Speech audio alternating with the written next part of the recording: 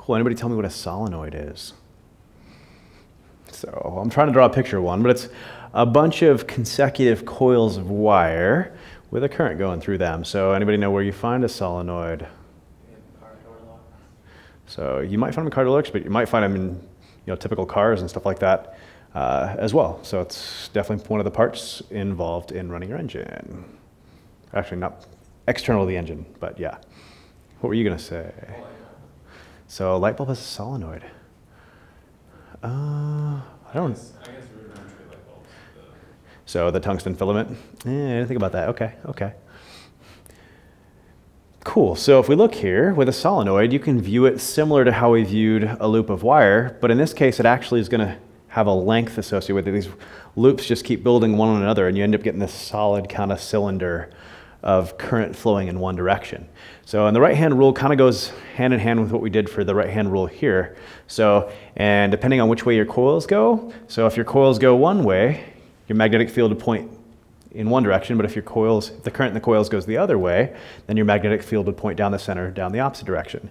So in this case, it's really hard to see which way I've kind of intended here. So, but in this case, I've kind of intended the coils to go wrapped around this way, or the current in the coils going around this way, which would lead to a magnetic field running right down the center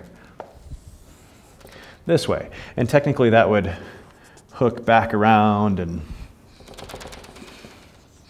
stuff like that. So, but the magnetic field is fairly weak outside the coils, but inside it can get actually pretty darn strong. So another place you might see one of these is an electromagnet. Really strong magnetic field in there.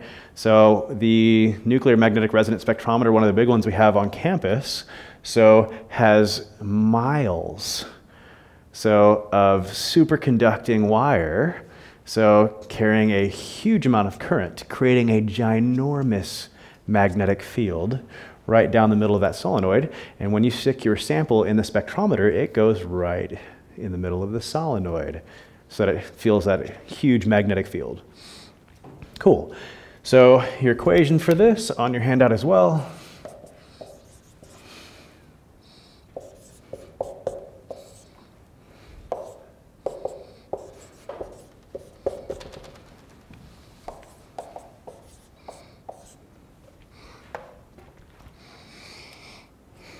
Lost my knot. Cool, so you're normally gonna see it presented this last way right here. So mu naught and then N, which is the number of turns per unit length.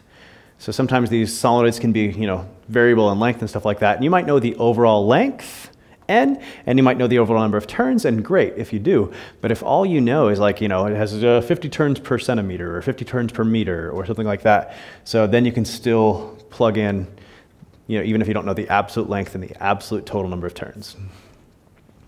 Cool. But more plugging and chugging, we shouldn't be surprised here to see that, oh yeah, so the greater the current, the greater it's gonna work out to be and stuff like that.